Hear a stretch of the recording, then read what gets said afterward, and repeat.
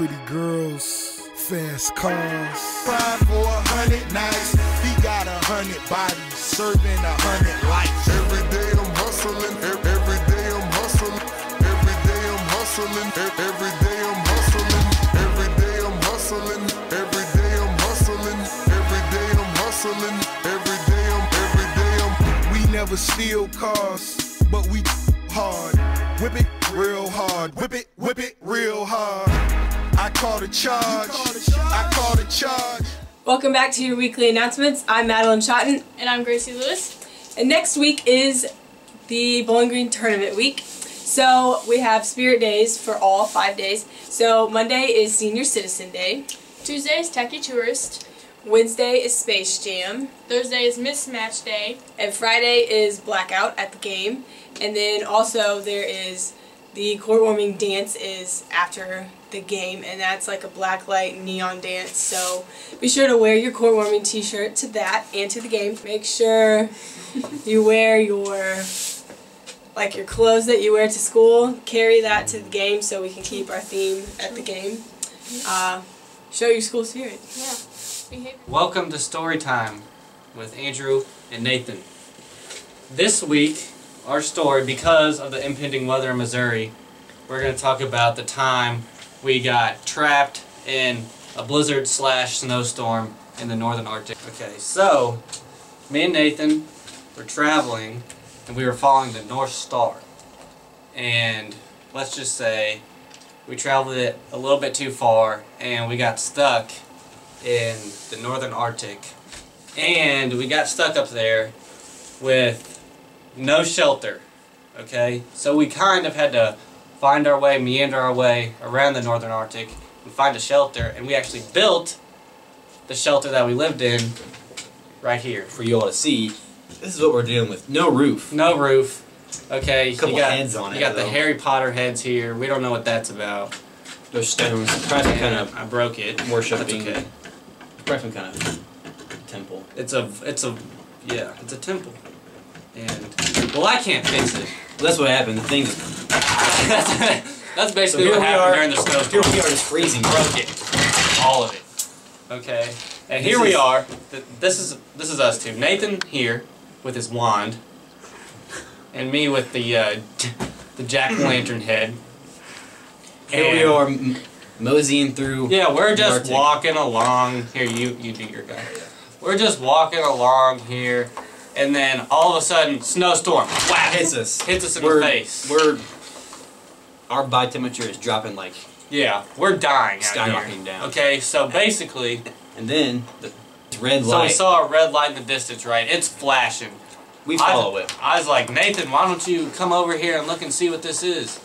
So he gets up, makes a complete 180 turn, and we see the red light, okay? So we follow it. So we follow the red light, Go towards it. and we don't really know what's going on. No. So I was like, Nathan, you have a magical wand. Why don't you go ahead and shoot something? So he gets his wand, turns it like this, and shoots something. Okay? Phew. That's a whoosh. And sound. then the snow and the fog clears. That red light is Rudolph. Yeah, it just it just so happened to be one of Santa's reindeer. I don't know what he was doing out there. I don't know what he was up to. Santa But- probably would not be happy. But he was out there, and we're like, well, our our shelter had just got blown away. So we're like, what are we gonna do for shelter? and so I used that little magical wand to zap Rudolph in the nose. It killed him. I didn't mean for I didn't mean for him to die, but he died. Yeah. And so we're like, well, we're gonna freeze out here. So We climbed in his body. we cut Rudolph open and We- spend the night inside of him. Yes. And let me tell you, that guy must have liked his carrots or something because he had a lot of blubber. He was, he was fat. Let me tell He you. He was fat. Okay. He kept us warm. Yeah. Thank We God. two people in there. That's how big he was. Okay. So basically, to recap, Santa does not have Rudolph anymore. He just has uh, The other. Dasher, Dancer, Prancer, Vixen, Comet, Cupid, Donner, and Blitzen. He's only got eight, No more Rudolph. not nine. Eight reindeer, four on each side, no lead reindeer because we uh, just we so happened to live in his Because body. we were not gonna die out there. killed him. We weren't dying out there. We were just teenagers. We were just we were just young kids at was this 13 years old. I don't know why our parents gave us permission to even Well- go to the Northern Arctic. We need to talk about the morning. The morning. Okay, so after a good night's sleep in the deer carcass, uh, we got up and realized, you know what, it's negative 20. We can brave our way to try and find some help. So we probably traveled for about three hours, and then we come upon a factory. This was not just any ordinary factory, ladies and gentlemen. This was the factory of Santa Claus. Okay. And it just so happened to be December 24th, so he was about ready to make his rounds around the earth. He took. Yeah. he But not off. everywhere, No.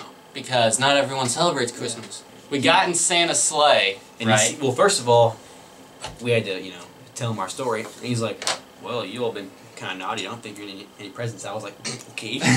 We didn't need any presents, Santa. We, we just needed to get home.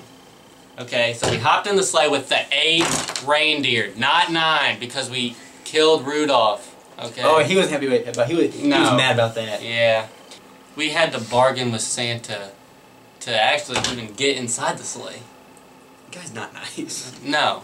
You think this dude, cherry cheeks, okay? This dude's always watching you. Alright?